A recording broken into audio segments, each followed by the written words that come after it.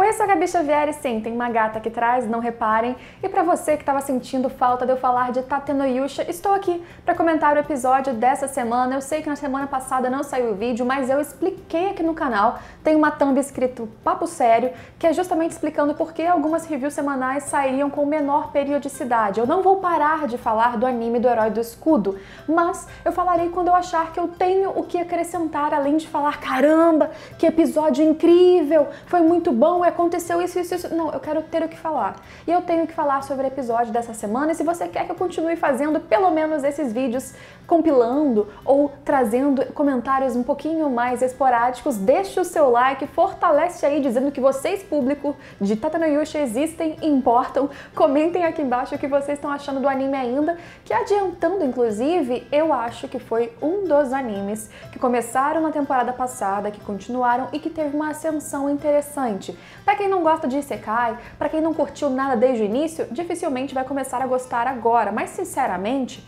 eu acho que vários dos problemas ou falhas ou pontos baixos que eu via no anime inicialmente, ele tá conseguindo completar e melhorar agora. Então, que bom, vamos elogiar porque vale a pena. Se inscreve se não for inscrito e vamos lá. No episódio passado, que eu acabei não comentando, a gente conheceu a Fitória, a filolial rainha, que por ter muito tempo de existência e experiência, e ela inclusive foi nascida e crescida junto com um herói anterior, que não fica claro se era um herói do escudo também, mas provavelmente.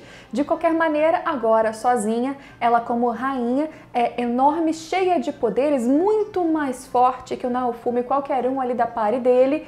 E o que eu gostei muito, especialmente com o surgimento dela, não foi de sabermos que existe uma galinha gigantesca super forte, não foi nem mesmo a relação dela com a Filo, nem mesmo a luta das duas nesse episódio. Ela em si é uma personagem misteriosa, interessante, passageira pelo visto, mas o que ela falou dessa vez, hoje, no que eu assisti pro Naofumi, isso, sinceramente, é o que eu venho falando sobre o Naofumi desde o começo, o que eu falo que eu acho que ele deveria mudar, e agora possivelmente o anime construiu uma forma de dizer para você que sim, eu não tava aqui apenas reclamando do Naofumi porque eu acho ele um idiota e porque eu odeio ele, meu Deus, vamos dar dislikes. Não. Simplesmente o que aconteceu?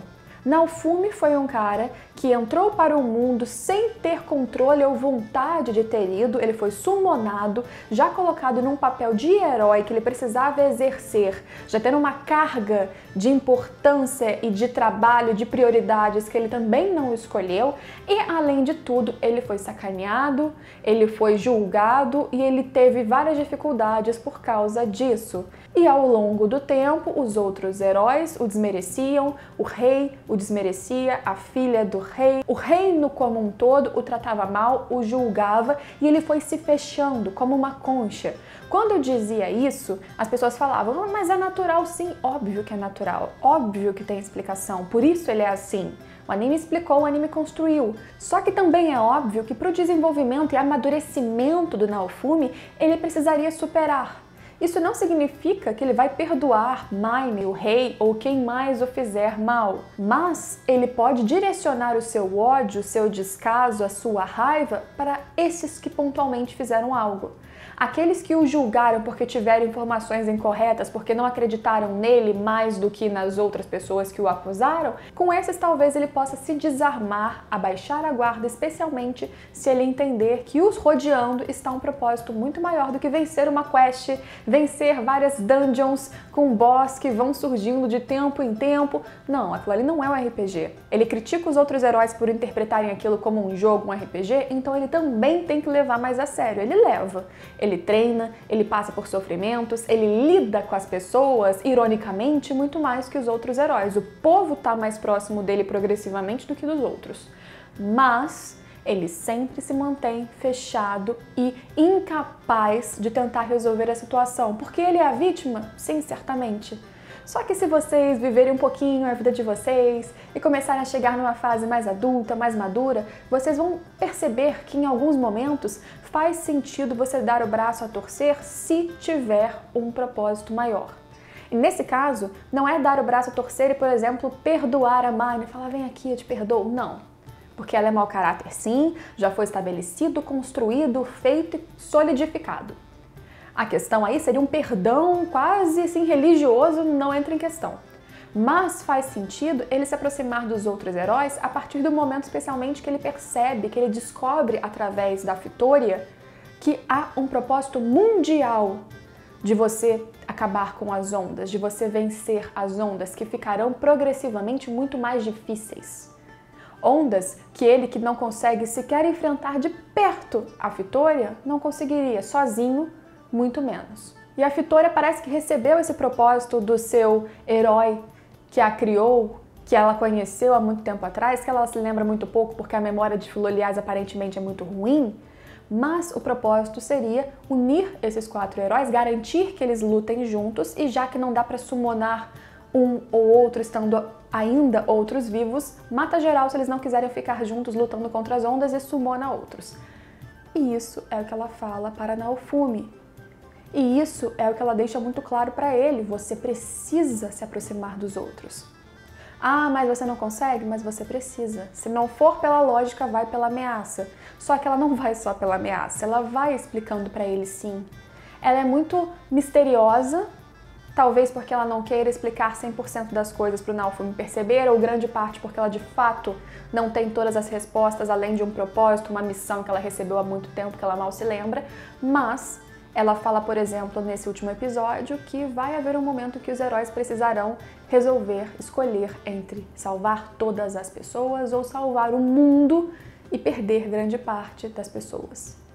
Isso é uma ideia que eu, que não cheguei até o final do mangá, mas vou admitir que eu li um pouquinho mais por causa do gancho que a gente vai comentar daqui a pouco desse episódio, mas eu que não li qual é o desfecho do mangá, da web novel muito menos, eu achei curioso que em algum momento Naofumi precise escolher entre salvar o universo ou aquelas pessoas que ele odeia. Então, duas coisas para o Naofumi: ele conseguirá voltar a se aproximar dos heróis ou tentar essa aproximação que quase nunca aconteceu. Ele vai conseguir deixar o seu ódio, a sua raiva, o seu rancor de lado, pelo menos para que o seu propósito maior de estar ali aconteça, que ele possa exercer isso, já que sozinho ele não conseguirá, ou pelo menos ele teve uma fala de que ele não conseguirá sozinho, a Vitória teoricamente deixaria eles agora perto desses heróis. Após o teste da Filo, após a Filo se tornar então a próxima rainha, ganhou um cabelinho rebelde. Se eu fosse rainha para cada cabelo rebelde que acontecesse na minha vida nesses vídeos, vocês imaginam. Mas após todas as emoções desses episódios, para mim, o final deste último foi o que mais importou. Essa alavancada para que o Naofumi sim evolua, porque você não precisa ser igual ao seu inimigo. Isso, para mim, de verdade, gente, norteia a minha vida. E é por isso que eu analisei o Naofumi dessa maneira. Não é que eu acho que o personagem não tem construção. Na verdade, neste momento eu elogio Tateno Yusha porque sim, você está construindo. Se foi assim na obra original, gente, não sei. No mangá, na verdade, pelo que eu li, é bem parecido. Mas, de qualquer maneira, está sendo privilegiado este assunto. Que ele supere suas raivas, seus problemas, seus rancores e faça o que é mais importante. E principalmente não coloque a sua raiva, não direcione para quem não tem nada a ver. E mais ainda, como eu falei, não seja igual ao seu inimigo, seja melhor. Porque isso é a tua maior arma.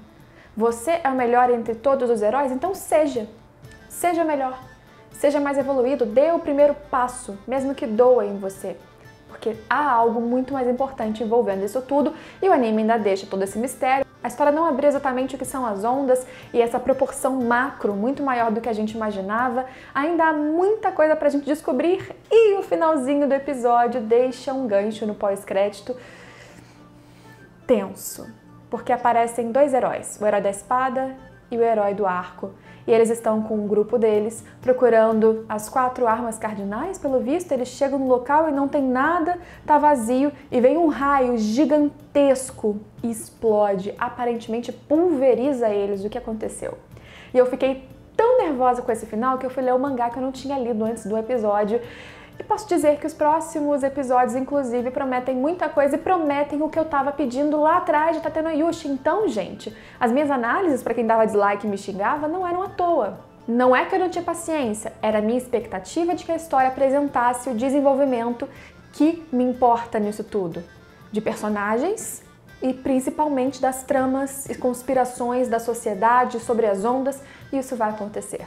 Vai surgir muita intriga. Se você quer intriga, a intriga vai aparecer na sua cara e talvez personagens que você vai odiar tanto quanto ou mais do que os que você já odeia. Para além da discussão principal que eu trouxe para o vídeo, o episódio 17 também tem alguns momentos interessantes. Os momentos de humor e comédia não são os meus favoritos, mas eu acho que eles funcionam na medida certa dentro do anime. A batalha em si foi mais importante simbolicamente do que muito bem explicada ou muito bem animada, então para mim funciona nesse contexto. É legal a gente ver a evolução da própria Filo e o que ela pode se tornar. Também gostei do momento final da conversa da Fitoria com o Naofumi, não só pelo contexto que a gente já conversou, mas também porque ela tem uma aproximação com ele, se recordando com carinho daquele que a treinou há muito tempo. E, por favor, gente, não tem nada de romance nessa situação, nem comecem a inventar. Aliás, ela dá para ele uma armadura que aparentemente protegeria de toda a corrosão que o escudo da Fúria acaba promovendo. Então deixa o seu like, comenta o que você achou. E novamente, não sei se vou comentar todos os próximos episódios, se eu tiver o que acrescentar, o que colocar. Sim, verei aqui, não abandonei Tatenoyusha. Teremos comentários até o final, mas talvez compiladamente, como foi esse aqui. Então, deixa o like, porque é por causa de vocês que de qualquer forma eu continuo comentando de tempo em tempo. Se inscreva aí no canal se você ainda não for inscrito, saem vídeos todos os dias, às vezes mais de um, e teremos lives também toda semana aqui no canal, como estamos tendo. Então, se inscreve, deixa o like, comenta e a gente se vê em todos os próximos vídeos. Tchau, tchau!